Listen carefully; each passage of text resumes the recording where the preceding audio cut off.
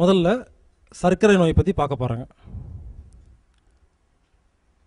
பொதுவாக சில பேர் சக்கரை நோயோடு இருந்திருப்பீங்க. பல பேர்த்துக்கு சக்கரை நோய் இருக்காது. சரி நமக்கு தான் சக்கரை நோய் இல்லையே. நம்ம ஒன்றும் பெருசாக கேட்க விட நினச்சிக்காதீங்க. என்னைக்காவது ஒரு நாள் யாரோ செக் பண்ணி பார்த்துட்டு சக்கரை நோய் சொல்ல போகிறாங்க இப்போவே நீங்கள் அதை கேட்டிங்கன்னா வாழ்க்கையில் சக்கரை நோய் கிடையாது. சர்க்கரை நோய் வந்தால் எல்லா நோய் வரும்னு சொல்கிறாங்க நானும் சொல்கிறேன் உண்மைங்க. சக்கரை நோய் வந்தால் எல்லா நோய் வரும். நானும் ஒத்துக்கிறேன். அப்போ திருப்பி போட்டால் சக்கரை நோய் குணப்படுத்தலாம் எல்லா நோய் குணப்படுத்தலாங்களா? சக்கரை நோய் வந்தால் எல்லா நோய் வருங்கிறது உண்மையாக இருந்தால் சக்கரை நோய் குணப்படுத்தலாம் எல்லா நோய் குணப்படுத்தலாங்கிறது உண்மைங்களா?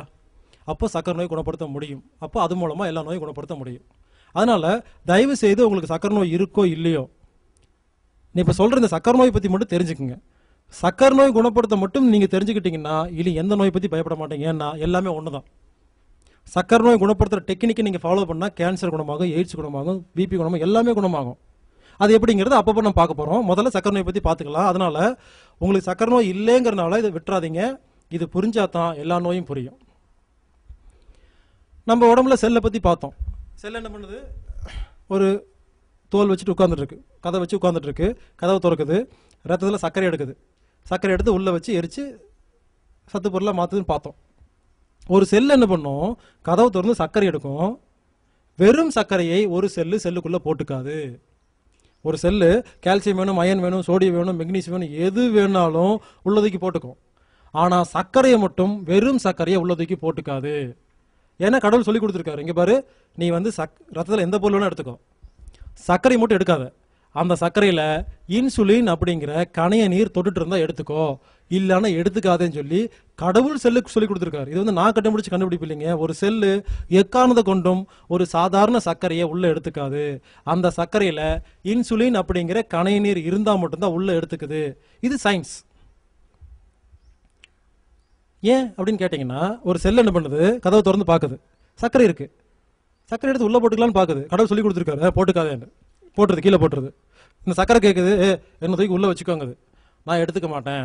கடவுள் எனக்கு சொல்லி கொடுத்துருக்காரு எனக்கு இன்சுலின் தான் எடுத்துக்குவேன். இன்சுலின் என்னென்னா நம்ம உடம்புல கணையம்னு ஒரு ஒரு உறுப்பு இருக்குது அந்த உறுப்புக்கு பேர் இங்கிலீஷில் பேங்க்ரியாஸ் கணையம் சுரக்கிற நீருக்கு பேர் கணைய நீர் இங்கிலீஷில் இன்சுலின் இந்த செல்லு சொல்லுது நான் ஒன்றும் எடுத்துக்க மாட்டேன். நீ நல்லவனா கெட்டனா எனக்கு தெரியல. செல்லு இந்த சக்கரை சொல்லுது நான் நல்லா கெட்டனான்னு உனக்கு எப்படி நான் எப்படி ப்ரூவ் பண்ணுறதுன்னு கேட்குது நீ அந்த பக்கமாக போ. பேங்க்ரியாஸ்னு ஒரு உறுப்பு இருப்பார். அவர்கிட்ட போனீங்கன்னா நீ நல்லவனாக இருந்தால் உனக்கு இன்சுலின் கொடுப்பாரு. நீ கெட்டவனாக இருந்தால் கொடுக்க மாட்டாரு அப்படின்னு சொல்லுது. இந்த சக்கரை என்ன பண்ணுது வெறும் சக்கரை அந்த பேங்க்ரியாஸ் உறுப்புக்கிட்ட போகுது. பேங்க்ரியாஸ் அப்படிங்கிற உருப்புடைய கணையம்ங்கிற உறுப்போட வேலை என்னென்னா ரத்தம்ங்கிற ட்ரெயின் வரும் பொழுது அதில் இருக்கிற ஒவ்வொரு சக்கரை எடுத்து டெஸ்ட் பண்ணும். எந்த சக்கரை நல்லா ஜீரணமாக இருக்குதோ அதுக்கு பேர் நல்ல சக்கரை குட் குவாலிட்டி சக்கரை அதுக்கு இன்சுலின் கொடுத்துரும். எந்த சக்கரை ஒழுங்காக ஜீரணமாகாமல் அறகுறை ஜீரணத்தோடு வருதோ அந்த சர்க்கரைக்கு பேர் கெட்ட சக்கரை பேட் சுகர் இதுக்கு உங்கள் கணையம் இன்சுலின் கொடுக்காது. இந்த கணையம் என்ன பண்ணும்? ஒவ்வொரு சக்கரை டெஸ்ட் பண்ணி பார்க்கும். ஓ நல்லா இருக்கு நல்லா ஜீரணமாயிடுச்சா? ஓகே. நீ வந்து இந்த சர்டிஃபிகேட் நீ செல்லுக்குள்ளே போய்க்கலாம். இன்சுலின் கொடுத்துரும். ஒரு சக்கரை ஒழுங்கா ஜீரணமாகலை. ஓ நீ வந்து கெட்ட சக்கரை நீ போகக்கூடாதுன்னு சொல்லி அதுக்கு இன்சுலின் கொடுக்காது. ஏன்னா கணிதத்துக்கு கணையத்துக்கு தெரியும். இன்சுலின் கொடுக்கலன்னா செல்லுக்குள்ளே போக முடியாது. அவர் எடுத்துக்க மாட்டான்னு தெரியும். இப்போ ஒரு சக்கரை ஒரு ரத்தத்தில் போனோன்னே நேராக செல்லுக்குள்ளே போக முடியாது.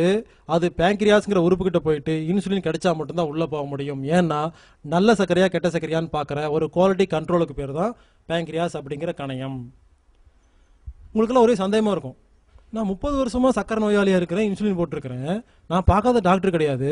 இது வரைக்கும் நல்ல சக்கரை கெட்ட சக்கரை பற்றி எனக்கு யாருமே சொல்லலையே. புதுசாக என்ன கதை விடுறீங்களான்னு கேட்பீங்க இல்லைங்க நான் பேசுறது சயின்ஸ் பியூர் சயின்ஸ் நான் எதுவும் கற்பனை பண்ணி எதுவுமே பேசல. உண்மையான உங்கள் அறிவியல சொல்கிறேன் நான். உங்களுக்கு ஒரு சந்தேகம். நல்ல சக்கரனா என்ன கெட்ட சக்கரனா என்ன தெரியல. அதானங்க. அது புரிஞ்சிருச்சுன்னா போதும் இல்லைங்களா? அதை பற்றி புரிய வைக்கிறாங்க. ஒரு குழந்தை இருக்கு. குழந்தையா இருக்கும்போது மனசுக்கு பிடிச்ச மாதிரிலாம் சாப்பிடும். மனசில் கள்ளம் கபடம் கோபம் டென்ஷன் பயம் வேலை பணம் பிரச்சனை ஒன்றுமே இருக்காது. ஜாலியாக இருக்கும். நினச்சா தூங்கும். அந்த குழந்தையா இருக்கும் பொழுது ஒரு குழந்தை சாப்பிடும் பொழுது அது நாலு இட்லி சாப்பிடுது. அந்த நாலு இட்லி உள்ளே போய் ஐநூறு சர்க்கரையாக உருவாயிருதுன்னு வச்சுங்களேன் குளுக்கோஸ். சர்க்கரைனா குளுக்கோஸ். ஐநூறு குளுக்கோஸ் உருவாயிருது. இந்த ஐநூறு குளுக்கோஸும் ரத்தத்தில் போய் கலந்துருச்சு. ஆனால் நல்லா ஜீரணமாயிருச்சு. புரிஞ்சுக்குங்க?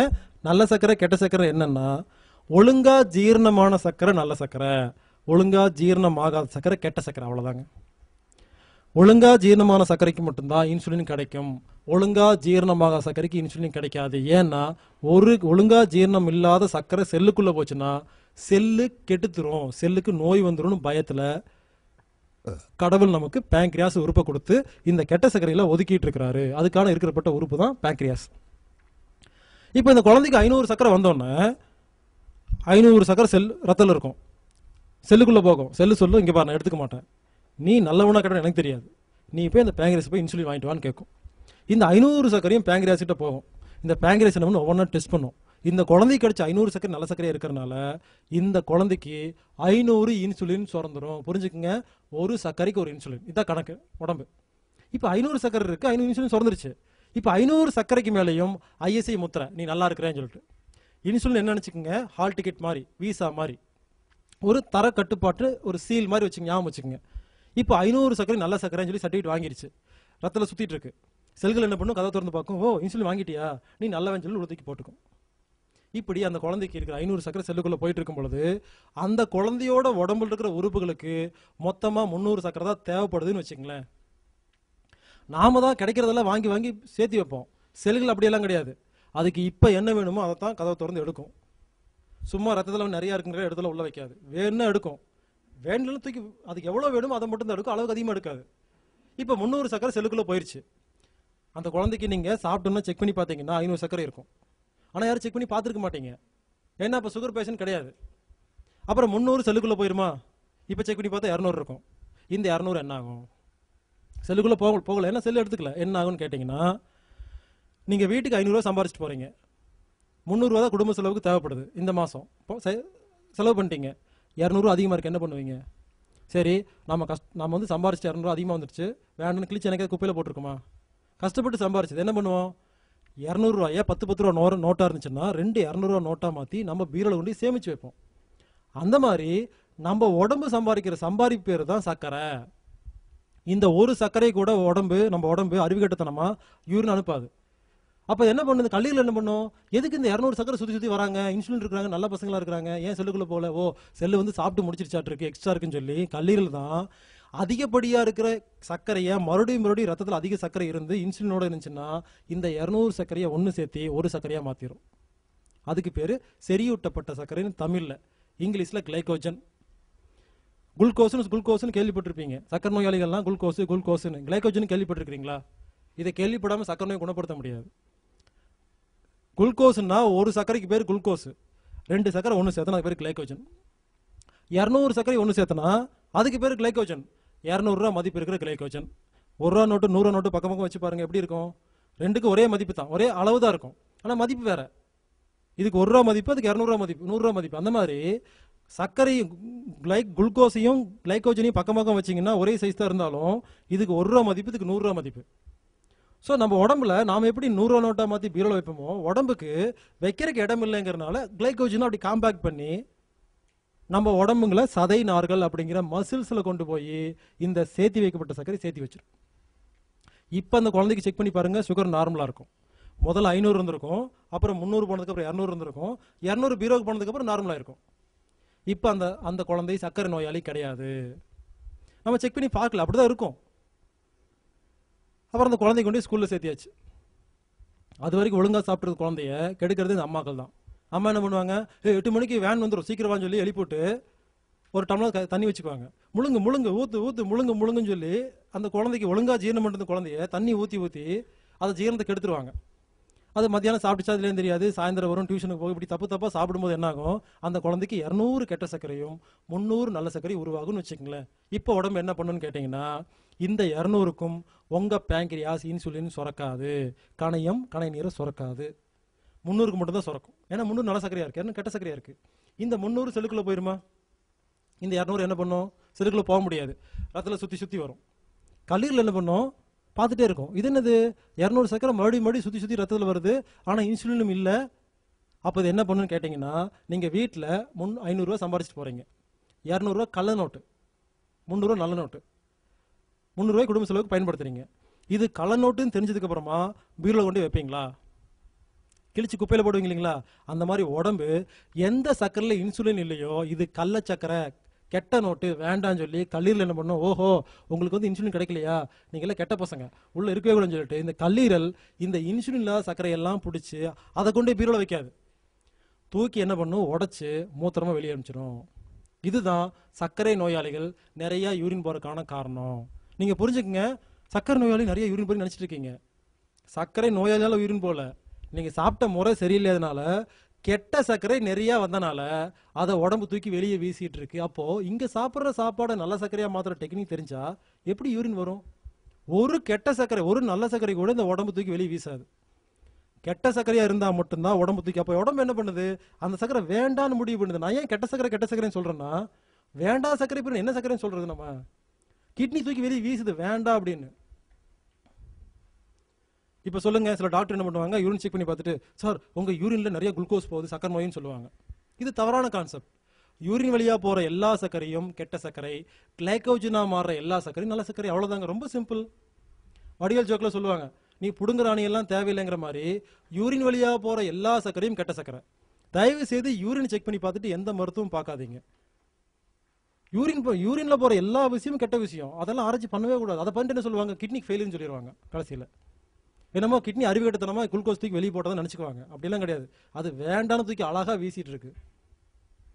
அந்த குழந்தை என்ன பண்ணும்? பிஸ்னஸ் பண்ண ஆரம்பிச்சிடும் அப்புறம் பெருசாகிடுச்சு பிஸ்னஸ் பண்ணுது. காலைல ஒழுங்காக சாப்பிட்றதில்ல. மத்தியானம் லஞ்ச் ஒழுங்காக பண்ணுறதில்ல நைட் ஒரு மணிக்கு வீட்டுக்கு வருது. இந்த மாதிரி தப்பு தப்பான சாப்பாட்டு பழக்கத்தில் என்ன அந்த குழந்தைக்கு முந்நூறு கெட்ட சர்க்கரையும் இரநூறு நல்ல சர்க்கரையும் உருவாதுன்னு வச்சுங்களேன் இப்போ என்ன ஆகும்னு கேட்டிங்கன்னா முந்நூறும் யூரின் வழியே வெளியே போயிடும் இரநூறு செல்லுக்குள்ளே போயிடும் ஆனால் அந்த உடம்புக்கு முந்நூறு தேவைப்படுதுன்னு வச்சுங்க நூறு பற்றாக்குறை.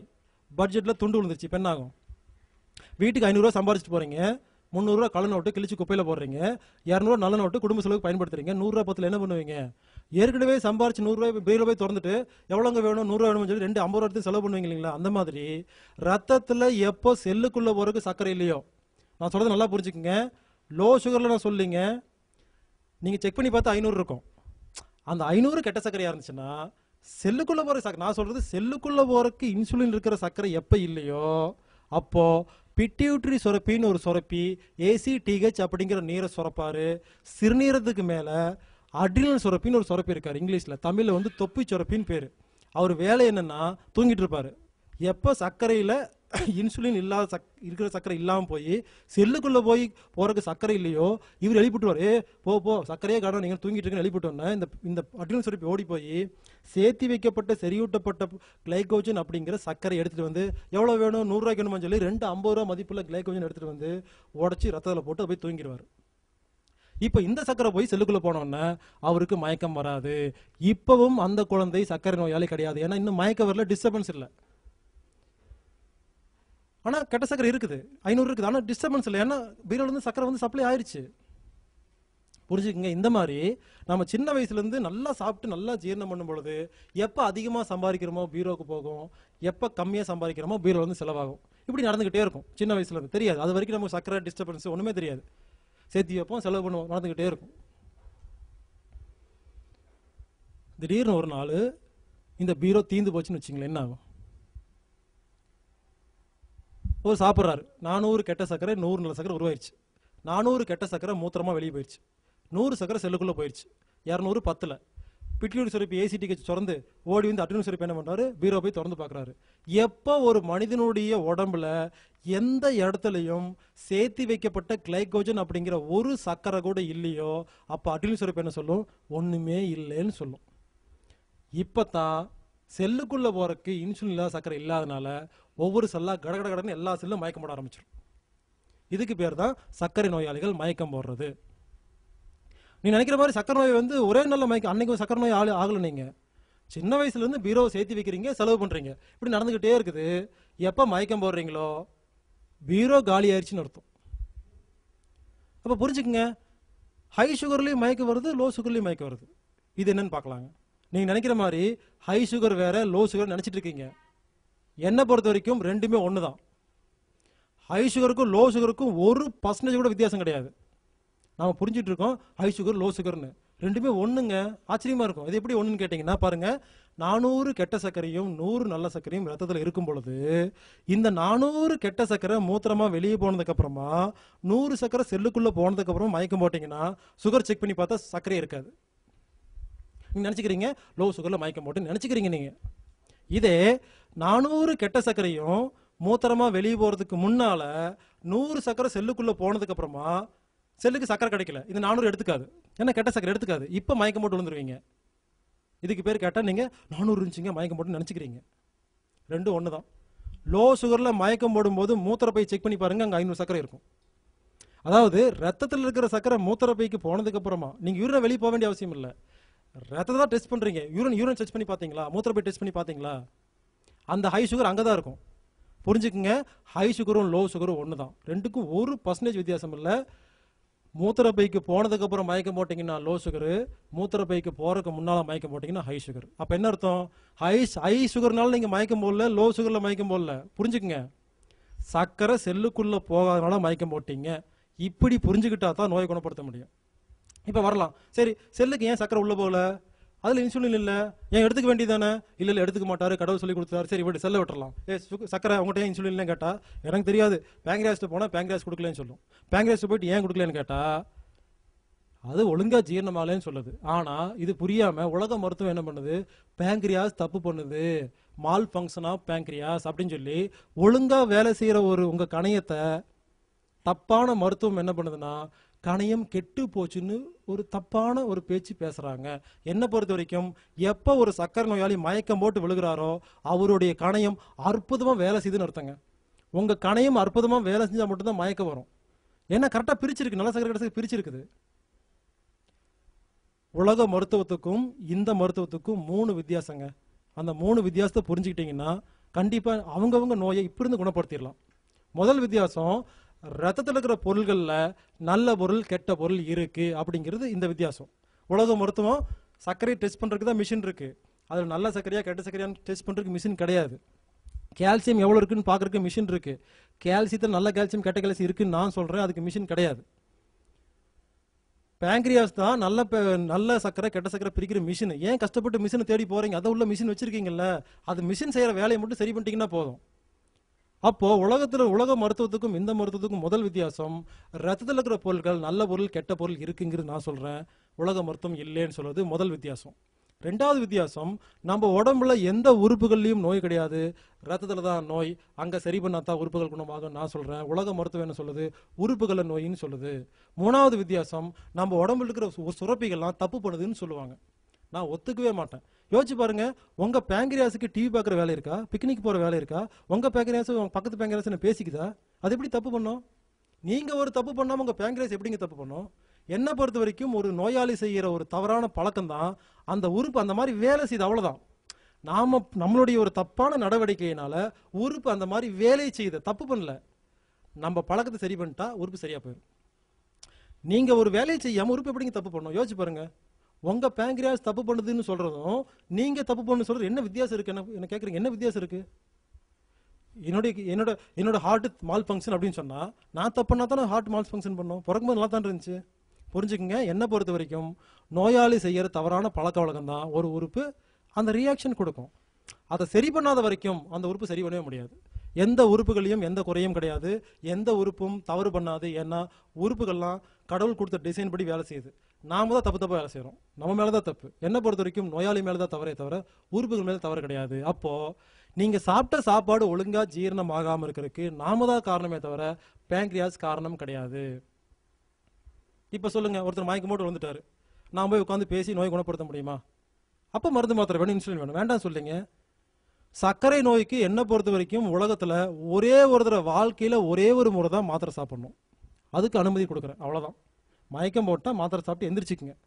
அவ்வளோதான் அதுக்கப்புறம் அந்த மருத்துவர் என்ன பண்ணணும்? அவளை கூப்பிட்டு உட்கார வச்சு சார் இப்படி தாங்க இதாங்க சக்கரை என்ன இதாங்க கிளைக்கோச்சன் இதாங்க எல்லாம் சொல்லி புரிய வச்சு இங்கே சாப்பிட்ற சாப்பாட்டை நல்ல ச- நல்ல சர்க்கரையாக மாத்திரக்கு ஒரு சின்ன டெக்னிக் இருக்குங்க. ரெண்டு நிமிஷம் போது நான் சொல்லித்தர முடியும். ரெண்டே நிமிஷம் தான். அந்த டெக்னிக்கில் சாப்பிட்டீங்கன்னா எந்த சாப்பாடை சாப்பிட்டாலும் ஆட்டோமேட்டிக்காக இன்சுலின் சுரந்துடும் ஏன்னா நல்ல சர்க்கரையாக தான் இருக்கும். இன்சுலினே வேண்டாம். இந்த செகண்ட்ல இன்சுலின் வேண்டாம். நான் சொல்ல டெக்னிக்கில் சாப்பிட்டீங்கன்னா உங்கள் பேங்க்ரியாஸ் ஆட்டோமேட்டிக் இன்சுலின் சுரக்கும். இன்சுலின் நிறுத்தலாம். உங்களுக்கு தேவை இன்சுலின் தானே? இன்ஜெக்ஷன் போட்டு தான் வரணும்னு சங்கல்பம் வச்சுருக்கிறீங்களா? இலவசமாக கிடைச்சா வாங்கிக்க மாட்டீங்களா? டெக்னிக்கை ஃபாலோ பண்ணுங்க. இப்போ சுரக்கும். அப்போது இங்கே சாப்பிட்ற சாப்பாடை நல்ல சர்க்கரையாக மாத்திர டெக்னிக் தெரிஞ்சு போனால் இப்போ இருந்து சக்கரை நோய் குணமாயிருச்சு.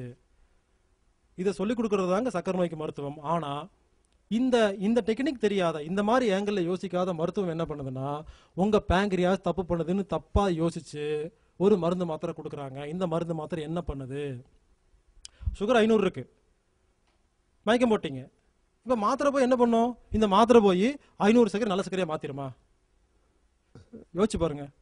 ஒரு க- சக்கரை ஒழுங்கா ஜீரணமாகலைன்னா அது மூத்திர மொழியை வெளியே போய் தான் ஆகணும். அடுத்த முறை சாப்பிட்ற சாப்பாட்டில் வேணால் நல்ல சக்கரை உள்ளே போய் அனுப்பிச்சிக்கலாம். கெட்ட சக்கரை யாருனாலும் நல்ல சக்கரையை மாற்ற முடியாது. இந்த மாத்திரை இந்த இந்த கான்செப்ட் தெரியாத மாத்திரை அதை போய் சரி பண்ணுங்களா? அப்போ என்ன பண்ணுது? இந்த மாத்திரை நேராக பேங்க்ரியாஸ்ட்டை போகும்.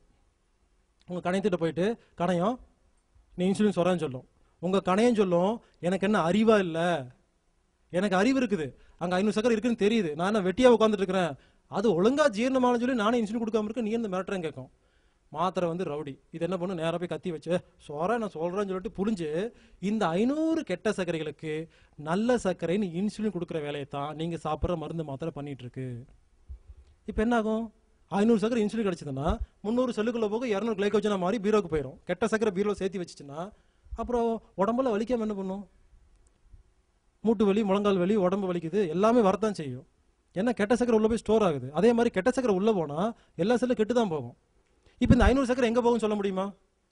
மருந்து மாத்திரால் கிடைக்கிற அந்த கெட்ட சர்க்கரை கிடைக்கிற இன்சுலின் கெட்ட ச- கெட்ட சர்க்கரையை முடியிலேருந்து நகை வரைக்கும் இருக்க எல்லா செல்லுக்குள்ளேயும் தானே போகும்? அப்போ எல்லா உறுப்பும் கெட்டு தானே போகும்? இப்படி ஒரு கெட்ட சர்க்கரை மருந்து மாத்திரையால் சாப்பிட்ற கெட்ட சர்க்கரைகள் செல்லுக்குள்ளே போய் தான் செல்லை கெடுத்துட்டு இருக்கு. சக்கரை நோய் வந்தால் எல்லா நோய் வரும்னு சொல்லுவாங்க. நான் ஒத்துக்க மாட்டேன். சக்கரை நோய் வந்தால் எல்லா நோய் வராது. சக்கரை நோய்க்கு மருந்து மாத்திரை சாப்பிட்டா எல்லா நோய் வரும். ஏன்னா மருந்து மாத்திரை சாப்பிட்டீங்கன்னா அது எங்கே போகும்? கண்ணு காது மூக்கு கிட்னி கணையும் எல்லா உறுப்பும் செல்லால் உருவாக்கப்பட்டது. எல்லா உறுப்பு உறுப்புக்கும் சக்கரை வேணும். எல்லா இடத்து சாப்பிடுவாங்க இல்லையா? அப்போ செல்லு கெட்டு போகும். கண்ணை அதிகமாக பயன்படுத்துறீங்களோ சர்க்கரைக்கு மருந்து மாத்திரை சாப்பிட்டு கண்ணை அதிகமாக பயன்படுத்துறீங்களோ கண் அதிகமாக சக்கரை சாப்பிடுமா? எந்த உறுப்புக்கு அதிகமாக வேலை தரீங்களோ அந்த உறுப்பு அதிக கெட்ட சர்க்கரை சாப்பிடுமா அந்த உறுப்பு கெட்டு போகும். ஏன் சக்கரை நோய்களுக்கு ஒவ்வொருத்தருக்கும் வேற வேற நோய் வருதுன்னா யார் கண்ணுக்கு அதிக வேலை தரீங்களோ கண்ணு கெட்டு போகும். யார் மூட்டுக்கு வேலை தரீங்களோ மூட்டு கெட்டு போகும். அந்த மாதிரி அவங்கவுங்களுக்கு வேற வேற நோய் வர காரணம் என்னன்னா அந்த உறுப்பு அதிகமாக பயன்படுத்துறீங்க. அந்த உறுப்பில் அதிக சக்கரை உள்ள போகுது. அது கெட்ட சர்க்கரை. அதை அனுப்பிச்சது மருந்து மாத்திரை. சர்க்கரைக்கு மருந்து மாத்திரை சாப்பிட்றீங்க. போக போக டோஸ் அதிகமாக தான் கம்மியாகுதா? மறுபடியும் வராங்க அதே கதைக்கு. அதிகம் தான் அது ஏன்? நீங்க க- மாத்திரை சாப்பிட்டு சர்க்கரை கண்ட்ரோல் வச்சுக்கிறீங்க. அது செல்லுக்குள்ள எல்லாம் போயிருது. எல்லா செல்லும் கெட்டு போகுது.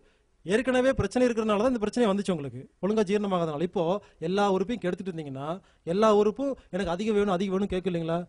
அப்போ இன்னும் பேங்க்ரியாஸ் கெட்டு தானே போகும்? பேங்க்ரியாஸ் ஒழுங்கா இருக்கிற பேங்க்ரியாஸை நல்லா இருக்கிற பேங்க்ரியாஸை கெட்டு போச்சுன்னு சொல்லி நீங்க மருந்து மாத்திரை சாப்பிட்றீங்க இல்லைங்களா இந்த மருந்து மாத்திரையால் கிடைக்கிற கெட்ட சர்க்கரை உங்க பேங்க்ரியாஸ்குள்ள போய் இப்பதான் உங்க கணையம் கெட்டு போகுது. மருந்து மாத்திரையால் தான் கணையம் கெட்டு போகுமே தவிர இயற்கையா கணையம் எந்த கணையமும் கெட்டு போறது கிடையாது. இப்படி கணையத்தை கெடுத்துட்டு இருக்கீங்க. அதனால டோஸ் அதிகமா தேவைப்படுது. ஏன் யோசிச்சு பாருங்க. முதல்ல சாப்பிட்ட மருந்து மாத்திரை வாக்கிங் போக சொல்றாங்க. இனிப்பு சாப்பிடாதீங்கன்னு சொல்லிட்டாங்க. மருந்து மாத்திரை கொடுத்தாச்சு. ஒழுங்கா தானே சாப்பிட்டீங்க? யாராவது சட்டை பிடிச்சி கேட்டீங்களா? சார் நீங்க சொன்ன மாதிரிலாம் மாத்திரை சாப்பிட்டேன். சொன்ன மாதிரி இனிப்பு சாப்பிடல. வாக்கிங் எல்லாம் போனேன். ஏன் டோஸ் அதிகம் பண்ணி பிடிக்கும் கேட்டீங்களா? மாத்திரை சாப்பிட்டா டோஸ் அதிகம் தான் ஆகும். ஏன்னா இன்னும் உடம்பு நோய் பெருசாயிட்டு வருது. இப்படி என்ன ஆகும்? நோய் பெருசாயிட்டே வரும். அப்புறம் என்ன ஆகும்? டோஸ் அதிகமாகிட்டே போயிட்டுருக்கும் அப்புறம் என்ன பண்ணுவாங்க? சார் கண் ஒழுங்காக என்னமோ ஒரு மாதிரி இருக்குது. என்ன சக்கரை நோய் இருக்கான்னு கேட்பாங்க. எந்த நோய்க்கு எப்போ டாக்டர்கிட்ட போனாலும் என்ன கேட்குறாங்க முதல் கேள்வி சர்க்கரை இருக்குங்களா? அடுத்து என்ன சொல்லுவாங்க? சர்க்கரை இருந்தால் அப்படி தாங்க எல்லா நோய் வரும். நான் திருப்பி கேட்குறேன் சர்க்கரை இருந்தால் அப்படி தான் வரும்னு சொல்றதுக்கு நீங்கள் எதுக்கு டாக்டர் படிச்சுட்டு வந்தீங்க? சர்க்கரை இருந்தால் அப்போ குணப்படுத்திருக்க வேண்டியதுதானே அப்போ எந்த வந்திருக்காதே வந்திருக்காது.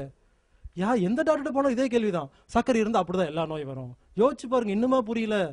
சர்க்கரை இருந்தால் எல்லா நோயும் வரும்னு சொல்றதுக்கு எதுக்கு கஷ்டப்பட்டு படிச்சுட்டு வந்து உட்காந்துருக்கிறீங்க நான் சொல்லுவேன் முதல்ல போய் சர்க்கரை எப்படி குணப்படுத்தி படிச்சுட்டு வாங்க. அப்புறம் நீங்கள் டாக்டர்னு சொல்லுங்கள் புரிஞ்சுக்குங்க சர்க்கரையை குணப்படுத்தாத வரைக்கும் எந்த நோயும் குணப்படுத்த முடியாது.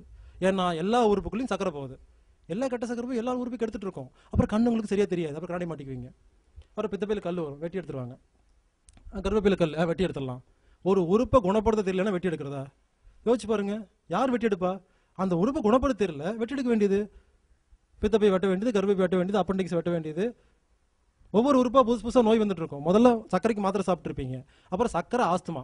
சக்கரை ஆஸ்துமா பிபி சக்கரை ஆஸ்துமா பிபி தைராய்டு புதுசு புதுசாக நோய் வருதா இல்லையா? ஏன்? சர்க்கரைக்கு மாத்திரை சாப்பிட்டா தான் எல்லா நோய் வரும். இது கூட தெரியாமல் நம்ம இருக்கிறோம் இப்படி டோஸ் அதிகமாக அதிகமாக புது புது நோய்கள் வர வர அதுக்கு புது புது தைராய்டு டெஸ்ட்டு கிட்னிக்கு தனி டாக்டர் ஒவ்வொரு டாக்டராக பார்த்துட்டு இருப்போம். புது புது நோய்கள் வந்துட்டே இருக்கும். வீட்டில் டப்பா மட்டும் பெருசாயிட்டு மாத்திரை அதிகமாகிட்டே வரும். இப்படி ஆக ஆக கடைசி என்ன ஆகும்? இதுக்கு மேலே ஆகாதுன்னு சொல்லிட்டு கடைசியாக இன்சுலின் அப்படிங்கிற ஒரு இன்ஜெக்ஷன் கொடுப்பாங்க. இது என்னன்னு கேட்டிங்கன்னா இது வரைக்கும் மாத்திரை சாப்பிட்ட என்னென்னா மாத்திரை உங்கள் பேங்க்ரியாஸ்கிட்ட போயிட்டு இன்சுலின் பிடுங்குச்சு. இந்த இன்சுலின் என்ன பண்ணும்? இங்கே பார் நீ ஒன்றும் கொடுக்க வேண்டாம். நீ என்ன சுரப்பியோ அதை நானே சுரந்துக்கிறேன். நாய்கிட்ட பன்னிக்கிட்ட மாட்டுக்கிட்டேலாம் போய் இந்த இன்சுலினை பிடுங்கிட்டு வந்து அதை இன்ஜெக்ஷனில் போட்டு கொடுத்துருவாங்க. இது என்ன பண்ணுமாமா சாப்பிட்றதுக்கு பத்து யூனிட் போட்டுக்கணுமாமா அப்புறம் சாப்பிடணுமாமா என்ன அர்த்தம்னா சாப்பிட்றதுக்கு முன்னாலேயே நீங்கள் சாப்பிட போகிற சாப்பாடு ஒழுங்கா ஜீரணமாய் நல்ல சக்கரை வந்துருச்சுன்னு முதலே சர்டிஃபிகேட் போட்டீங்க. இதுக்கப்புறம் சாப்பிட்ட சக்கரை நார்மலாக தான் இருக்கும். அப்புறம் இன்சுலின் போட்டே இருப்பீங்க. புரிஞ்சுக்குங்க? சர்க்கரை நார்மலாக இருக்கணும்னு சொல்கிறாங்க இல்லைங்களா? அதுவே தப்பான கான்செப்ட் யார் சொன்ன உங்களுக்கு சர்க்கரை நார்மலாக இருக்கணும்னு? நான்லாம் சாப்பிட்டேன்னா இது மத்தியானம் சாப்பிட்றேங்க. சும்மாலாம் சொல்லுங்க எதுவுமே நான் எதுவுமே தமாசாலாம் பேசல இல்லைங்க. ஏதோ சொற்பொழிவெல்லாம் கிடையாது. ட்ரீட்மெண்ட்டு இப்போ நான் மத்தியானம் சாப்பிட்டு காமிக்கிறேன். ரெண்டு மணி நேரம். என் பிளட்டை டெஸ்ட் பண்ணி பாருங்க. ஏழ்நூறு கம்மி நான் காட்டவே மாட்டேன். ஏழ்நூறு தான். ஒவ்வொரு நேரம் சாப்பிடும்போது எனக்கு ஏழ்நூறு வரும். புரிஞ்சுக்குங்க. எப்போ சாப்பிட்டாலும் சுகர் ஐநூறு அறுநூறு போகணும்.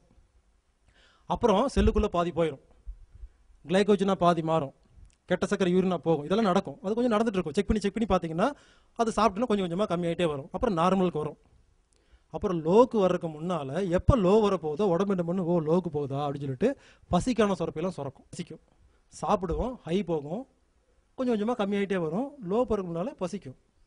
ஒருவேளை லோக்கு போகும்போது பசி எடுத்து நீங்கள் சாப்பிட்லன்னா அப்போ மயக்கெல்லாம் வராதுங்க. உடனே பிட்டுட்டி தான் இருக்கு. ஓடி வந்து என்ன பண்ணும்? பீரோல் இருக்கிற சக்கரத்துக்கு உள்ளே போட்டுரும். மயக்கம் வரவே வராது. சாப்பிட்டாடி கூட மயக்க வராது. யோசிச்சு பாருங்க. முஸ்லீம் எல்லாம் ஒரு நாள் ஃபுல்லாக விரதம் இருக்கிறாங்க. எங்கே மயக்கம் போடுறாங்க? அப்போ யார் சப்ளை பண்ணுறா கிளைகோஜ் தான் சப்ளை பண்ணுது. நீங்களே பாருங்க. இங்கிருந்து திரு மெட்ராஸுக்கு பஸ்ஸில் உட்காந்துட்டீங்க பஸ்ஸில் போயிட்டு இருக்கிறீங்க. சரி நடுவில் ஏதாவது ஹோட்டல் நிறுத்துவாங்க சாப்பிடுவாங்கன்னு சொல்லி படுத்து தூங்கிட்டீங்க. திடீர்னு எந்திரிச்சு பார்க்குறீங்க மணி மூணாச்சு.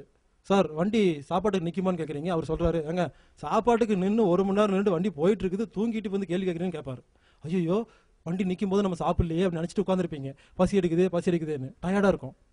வண்டி நிற்கவே நிற்காது கேட்பீங்க அது வண்டி போயிட்டே இருக்கும். நாம் பசிக்கலையே பசிச்சு சாப்பிடலையே உடம்புல டயர்ட்னஸாக இருக்குது நினச்சிட்டு இருப்பீங்க. திடீர்னு பாருங்க ஃப்ரெஷ் ஆயிருவீங்க. செக் பண்ணி பாருங்க. நான் சொல்றது நம்ப வேண்டாம். செக் பண்ணி பாருங்க. எப்போ திடீர்னு ஃப்ரெஷ் ஆகுறீங்களோ சாப்பிடாமையே கிளைக்கோஜன் சப்ளை ஆயிடுச்சுன்னு அர்த்தம். நாம சைக்காலஜிக்கல் என்ன பண்ணுவோம்? ஐயோ சாப்பிடல நினச்சிட்டு இருப்போம். ஆனால் ஃப்ரெஷ்ஷாக இருப்பீங்க. ஃப்ரெஷ்ஷாக இருந்தால் ஏன் சாப்பிட்றீங்க? அது சப்ளை ஆயிருச்சுல்ல. அப்புறம் என்ன பண்ணுவோம் வண்டி ஒருத்தர் நிற்கும் ஓடி போய் என்ன பண்ணுவோம் கடற்கன்னு திட்டு வந்துடுவோம் நம்ம நினச்சிக்குவோம். நம்ம சாப்பிடல சர்க்கரை இல்லைன்னு. நல்லா தெம்பாக தான் இருப்போம். புரிஞ்சுக்குங்க? சர்க்கரை நார்மலாக இருக்கணும்னு சொல்கிறது தப்பான கான்செப்ட் உங்களை மாதிரி நானும் சர்க்கரை நார்மலாக வச்சுருந்தா இந்த மாதிரி நாலு மணி நேரம்லாம் பேச முடியாது. சர்க்கரை நோயில் கூப்பிட்டு அரை மணி நேரம் பேச சொல்லுங்க. மயக்க மட்டும் விழுந்துருவீங்க. ஏன்னா சக்கரை நார்மலாக வச்சிருக்கிறீங்க. நான் இப்போ நாலு மணி நேரம் பேசிட்டு ரெண்டு மணி நேரம் பேசுகிறேன் இன்னும் ஆறு மணி நேரம் பேச போகிறேன் இந்த ஆறு மணி நேரம் எப்படி பேச முடியும்னா நான் காலைல சாப்பிட்டு ரெண்டு இட்லி எங்கெங்க இவ்வளோ நேரம் பேசுகிற தம்பு கிடைக்கும். நேற்று சாப்பிட்டு முந்தா சாப்பிட்டதெல்லாம் சேர்த்து வச்சிருக்கிறேன். இப்போ நான் தொடர்ந்து பேசிட்டே இருக்கும் பொழுது எனக்கு கிளைக்கோஜன் சப்ளை ஆகிட்டே இருக்கும். நான் பேசிக்கிட்டே இருப்பேன். எப்போ முடியுதோ மறுபடியும் சாப்பிடுவேன் சேர்த்து வைப்பேன். அப்போ எனக்கு ஆயிரம் போகணும் எட்நூறு போகணும்.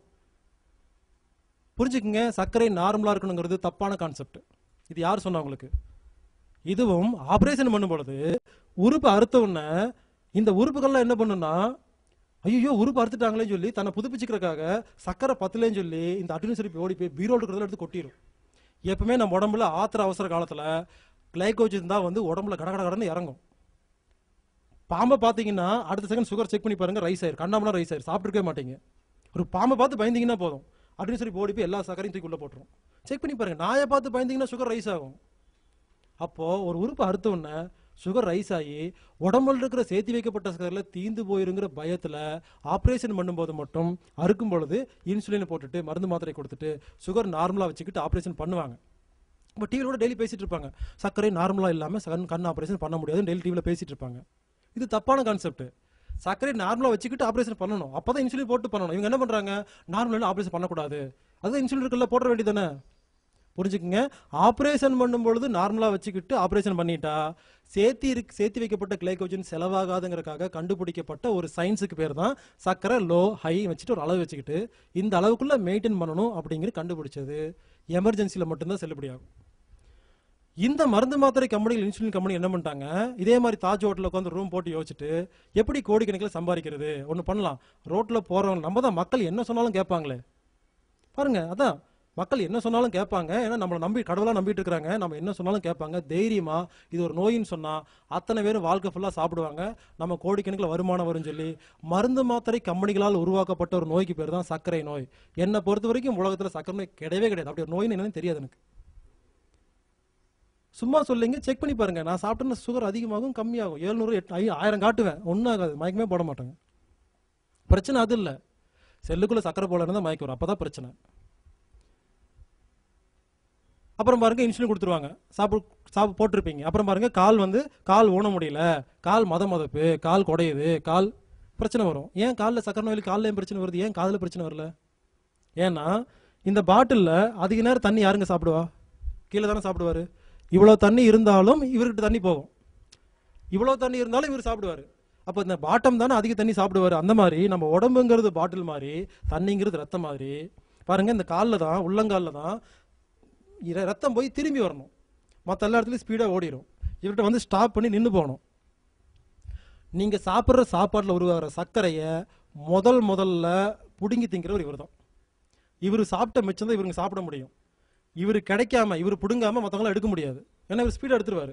இவர் முதல்ல சாப்பிடுவார் அப்புறம் இவர் அப்புறம் இவர் அப்புறம் இவர் இப்படி மேலே போயிட்டுருக்கும். நீங்கள் சாப்பிட்ற சக்கரை மாத்திரை இன்சுலின் மூலமாக கிடைக்கிற கெட்ட சர்க்கரையை இவர் அடித்து பிடுங்குறாரா? அந்த பாவத்துக்கு இங்கே இருக்கிற செல்கள்லாம் கெட்டு போகுதுன்னு சொல்ல மாட்டாங்க. செத்து போயிட்டுருக்கு. ரெண்டுக்கு வித்தியாசம் இருக்குது கெட்டு போகுதுன்னா கூட சந் சாதாரணமாக செத்து போயிட்டுருக்கு. அந்த செத்து போகிறக்கான அறிகுறி தான் கால் குடையுது கால் ஊன முடியல கால் மதம் மதக்குது. அப்புறம் பாருங்கள் கால் வெடிச்சிடும் சில பேருக்கு பார்த்தீங்கன்னா கால் வெடிச்சு கிடக்கும். ஏன்னா செல்கள் செத்து போயிட்டுருக்கு. அப்புறம் கொஞ்ச நாள் கழிச்சு என்னாகும்? அதுக்கு ஒரு புண்ணு வரும். புண்ணு வந்து ஆறாதும்பாங்க. சக்கரை நோயாளி காலில் புண்ணு வந்து ஏன் ஆறாது? அங்கே இருக்க செல் உயிருக்கே போராடிட்டு இருக்கும் பொழுது புண்ணு வந்து எப்படி ஆத்தா ஆத்தாது? அப்புறம் பொண்ணு ஆப்ரேஷன் பண்ணுறதுக்கு ஒரு ஐம்பதாயிரம் செலவு. அது ஆஸ்பத்திரி பொறுத்து அஞ்சு லட்சம் கூட ஆகலாம். அப்புறம் கட்டவல் அழுகி போயிடும் எங்கள் கட்டவல் அழுகி போச்சுல்ல? யாராவது சட்டை பிடிச்சி கேட்டிங்களா? சார் நீங்கள் சொன்ன மாதிரி எல்லாம் மாத்திரை சாப்பிட்டேன். டோஸ் அதிகம் பண்ணி கொடுக்கும்போதெல்லாம் சாப்பிட்டேன். இன்சுலின் கொடுத்தீங்க அப்பவும் போட்டுக்கிட்டேன். இனிப்பே நான் தொடவே இல்லைங்க. வாக்கிங் எல்லாம் போனாங்க. எல்லாமே பண்ணாங்க. ஏங்க ஏன் கட்டல் அழுகி போச்சுன்னு யாராவது கேட்டிங்களா? சட்டை பிடிச்சி கேட்பீங்க சார் ஏன் சார் அழுகி போச்சுன்னு கேட்கலாம். என்ன தெரியுங்களா சொல்லுவாங்க? நீங்கள் சுகரை கண்ட்ரோலாக வச்சுருக்க மாட்டீங்க. உடனே சட்டை விட்டுட்டு ஆமாம் ஆமாம் நாம சுகரை கண்ட்ரோலாக வச்சுக்கல. அதனால தான் நமக்கு வந்துருச்சு. புரிஞ்சுக்குங்க. நாக்கில் விடாமல் நக்கி சாப்பிடுங்கன்னு சொன்னால் யாராவது சாப்பிடுவீங்களா? பல்ல கட பல்ல விடாமல் கடிச்சு சாப்பிடுன்னு சொன்னால் யாராவது முடியுமா? அதே மாதிரி சுகரை நார்மலாக வச்சுக்கவே முடியாது. முடியாத ஒரு விஷயத்தை சொன்னால் யாருனால முடியும்? நாம் நினச்சிக்கிறோம் நாம தான் சுகரை ஒழுங்காக வச்சுக்கலன்னு நினச்சிக்கிட்டு நீங்கள் நொந்துக்கிறீங்க.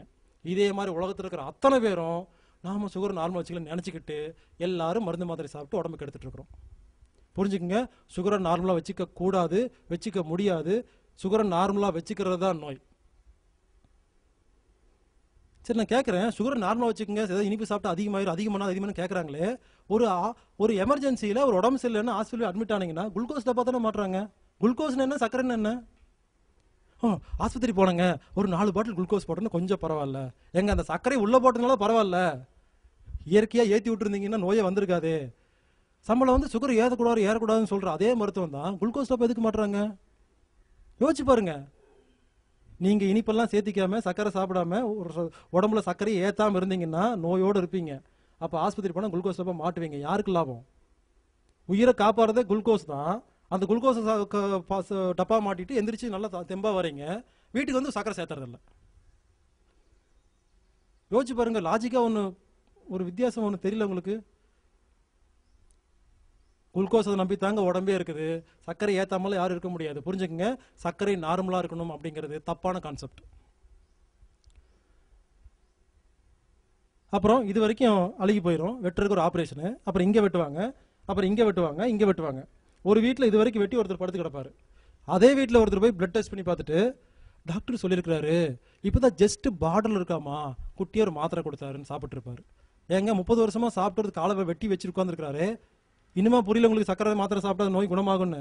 ஆகாதுன்னு இன்னும் புரியலையா? அது கூட தெரியாம ஒரு வீட்டில் ஒரே வீட்டில் காலை வெட்டி படுத்துருக்காங்க அதே வீட்டில் குட்டி மாத்திரை எடுத்துட்டு இப்பதான் ஸ்டார்ட் பண்றாரு ஒருத்தர். அவர் கண்டிப்பாக முப்பது வருஷத்துக்கு அப்புறம் காலை வெட்ட போறாங்க. புரிஞ்சுக்குங்க. சர்க்கரை நோய்ங்கிறது நோயே கிடையாது. சும்மா எல்லாம் வாயில சொல்லுவாங்க ஒரே வார்த்தையில். நான் சயின்டிஃபிக்காக நிரூபிக்கிறேன். எந்த டாக்டர் வந்தாலும் சரி எந்த சயின்டிஸ்ட் வந்தாலும் சரி எனக்கு பயோகெமிஸ்ட் ரேஞ்சில் பேச தெரியும். இப்போ இருக்கிற நோயாளிகளுக்கு மக்களுக்கு தகுந்த மாதிரி நான் வந்து லோக்கல் லாங்குவேஜில் பேசிகிட்டு இருக்கிறேன். இதே பயோகெமிஸ்ட்ரியில் C six H twelve O twelve அப்படிங்கிற லெவலில் அந்த பயோகெமிஸ்ட்ரியில் குளுக்கோஸ்னா என்ன கிளைகோஜன் என்ன அப்படிங்கிறத விளக்கமாக நல்லா பேச முடியும். அது இப்போ தேவையில்லை. அது சயின்டிஸ்டாக பேசும்போது நான் பேசிக்குவேன் சப்ஜெக்ட் என்னென்னா சர்க்கரை நோய்ங்கிறது உலகத்தில் நோயே கிடையாது. இப்போ எப்படி குணப்படுத்தலாம்? இங்கே சாப்பிட்ற சாப்பாட்டை இந்த இடத்துல நல்ல சர்க்கரையாக மட்டும் மாற்றிட்டீங்கன்னா உங்கள் பேங்க்ரியாஸ் இயற்கையாக இன்சுலின் சுரந்துடும் இதை தவிர உலகத்தில் எந்த வழியிலையும் சர்க்கரை நோயை குணப்படுத்த முடியாது. சர்க்கரை தயவு செய்து சர்க்கரை நார்மலாக இருக்கா நார்மலாக இருக்கான்னு செக் பண்ணி பார்த்து செக் பண்ணி பார்த்து மன ரீதியாகவும் நோயோட சுற்றிட்டு இருக்கிறோம். செக் பண்ணி பார்க்குற அந்த நேரத்தில் வர ஒரு சொட்டு ரத்தம் கூட வேறையமாயிட்டு போயிட்டு இருக்கு. சர்க்கரை நார்மலாக இருக்கான்னு செக் பண்ணுற கான்செப்டே தவறான கான்செப்ட் அப்போ என்ன பண்ணலாங்க? இங்கே சாப்பிட்ற சாப்பாட்டை இந்த இடத்துல எப்படி நல்ல சர்க்கரையை மாத்துறங்கிறது எனக்கு ரெண்டு நிமிஷம் இருந்தால் போதும். அது இப்போ சொல்ல மாட்டேன் கடைசியாக தான் சொல்லுவாங்க. ஒருவேளை இப்போ சொன்னோன்னா பல திடீர்னு எங்கேயாவது சரி வீட்டுக்கு போகலாம் கிடச்சிருச்சுன்னு சொல்லிட்டு போயிட்டீங்கன்னா வம்பாயிருவேன்